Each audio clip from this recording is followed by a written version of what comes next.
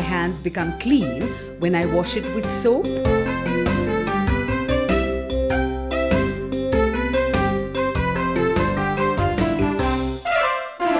Okay, that's it. Everybody, please clean up before you go for lunch.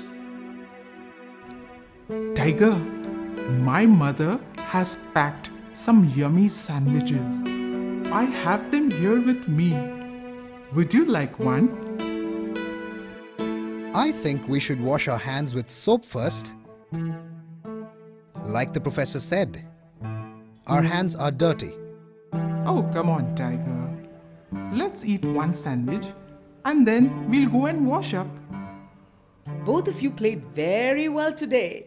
Well done. Clean up now and make sure you wash your hands with soap and not just water. Soap? How does soap make us clean? Is it not enough if we wash our hands with water? Why must we always use soap? Yes, you must always use soap if you do not want to fall sick. When you wash your hands with soap, all the germs and dirt stick to the soap. The water then washes away both the germs and the dirt particles. Is that why we are told to wash our hands even when we sneeze or cough? Yes, washing your hands with soap prevents the germs from spreading and you from falling sick. Elephant?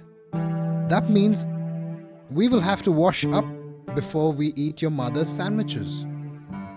Yes, of course. I do not want to fall sick. I will have to remain in bed. And I won't even be allowed to go out to play. I definitely don't want that. Snake, that was awesome. You know, I love watching magic. Will you also teach me, please? Sure, Oyster. You can be my assistant. That would be great.